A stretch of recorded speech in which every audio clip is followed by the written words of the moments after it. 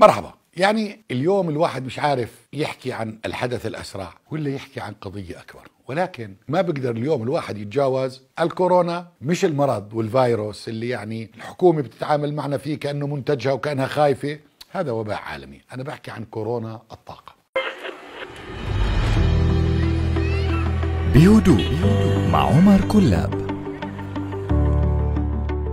إذا كان في كورونا زي الإنفلونزا قابلينها. بس كورونا الطاقة اللي لألا مش قادرين لا لاقين لها دواء. ترى زي كورونا. لا لها دواء ولا لها علاج ولا لها شيء اليوم بالضبط سعر برميل النفط قد سعر تنكة البنزين في الأردن. تخيلوا المسخرة. بالضبط. تنكة البنزين بحق سعر برميل النفط. ومع ذلك لا حكومة حاكية لا هيئة طاقة حاكية لا لجنة تسعير مشتقات حاكية. اليوم أنت بتأخذ 37 قرش على لتر البنزين. اليوم حق لتر البنزين 37 قرش ونص. يعني ضريبة الحكومة قد حق اللتر. وين صارت هاي بأي بلد بالواق واق هاي لو تيجي تقول للناس يا عمي ضريبة الدولة قد سعر المنتج. هذا كفر 100% حتى أكون دقيق 37 قرش ونص 37 قرش. هذا في عاقل بقول بدي استثمار وبدي سياحة وبدي سياحة علاجية وبدي الناس تجيني. بهيك أسعار؟ استراتيجية الطاقة للآن في غرفة رئيس الوزراء من شهر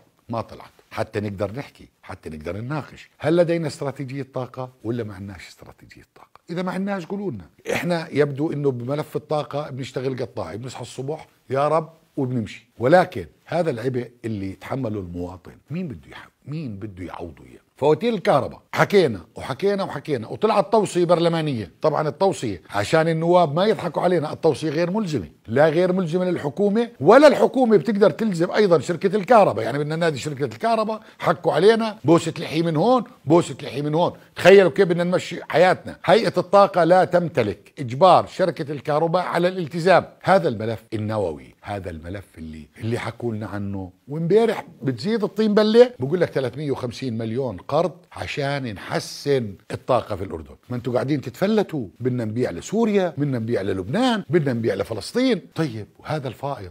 لسه بدك 350 مليون فوق الخمسة مليار ديون. تحملني كمان علشان إيش؟ عشان تتجاوز عثرات الاتفاقيات السابقة؟ مزبوط وقعته على 12 قرش في لحظة صعبة. بس بعديها الأسعار نزلت. الآن القدرة على التخزين أحسن. يعني اليوم بصراحة إذا بنقول لشركة الكهرباء التي تدعي اللي هي الرياح والمتجددة إذا بنقول لي عمي بتربح 3 قروش في الكيلو هي 3 قروش تشتغلش طفي وبنجيب الشركة العروض الجديدة اللي هي بقرش ونص أو قرش وسبع فلسات. قرش وسبع فلسات وثلاث قروش هي أربع قروش شلن. إنتوا أقل سعر من واحد ل 160 كيلو وات الكيلو بثلاث فلسات ونص. من ثلاث من من 160 كيلو ل 300 كيلو 700 فلس. يعني بنربح والكهرباء وبنعطي الناس التزاماتنا يعني بندفع لهم قروش وبنضل أربح. لأنه الآن التخزين كلفته انخفضت والقدرة زادت. كل هذا الملف المجعلص واضح أنه يستهدف جيوب الأردنيين.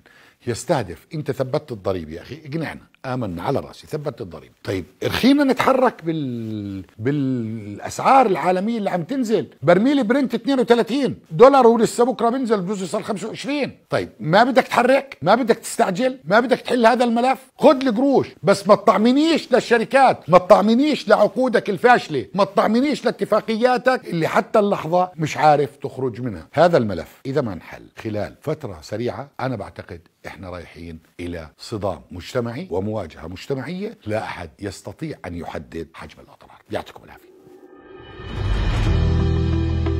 بهدوء. مع عمر كلاب.